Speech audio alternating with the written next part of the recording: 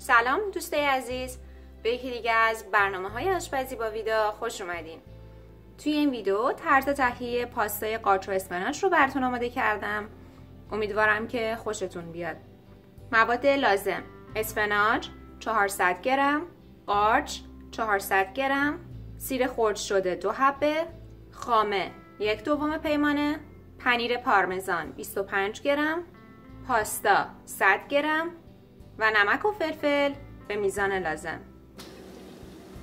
مقداری کره داخل تابه داغ کردم و سیر رو به اون اضافه می‌کنم. حدودا یک الا دو دقیقه سیر رو تف میدم تا کمی طلایی بشه و بعد اسفناج ها رو به همراه قارچ اضافه می‌کنم.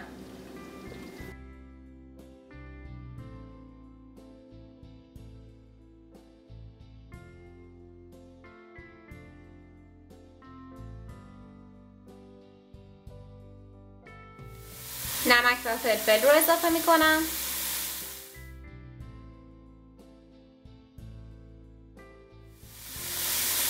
و حالا خامه و پنیر پارمزان رو اضافه می کنم مواد رو خوب با هم ترکیب می کنم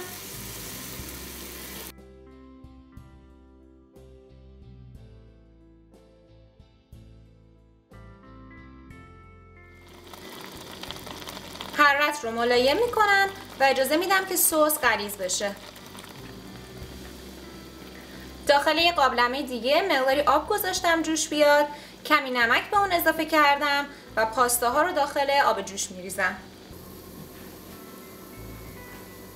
حدودا 8 دقیقه طول می‌کشه تا پاستاها کاملا بپزن و آماده آبکش کردن بشن. پاستا آماده است؟ اون رو آبکش می‌کنم روش مقداری آب سرد میریزم و بعد اون رو به ترکیب قارچ و اسفناج اضافه می‌کنم.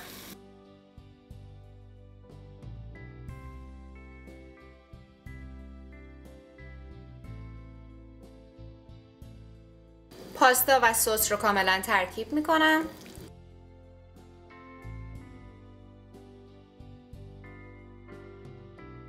به مدت 5 دقیقه روی حرارت ملایم می‌ذارم. تا پاستا کاملا خودش رو بگیره.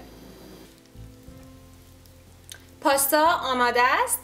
اون رو توی یک ظرف می‌کشم و سروش می‌کنم.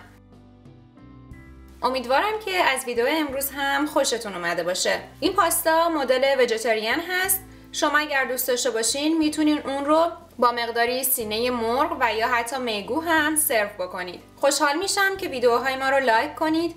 به اشتراک بذارید و برای حمایت های بیشتر فراموش نکنید که سابسکرایب کنید.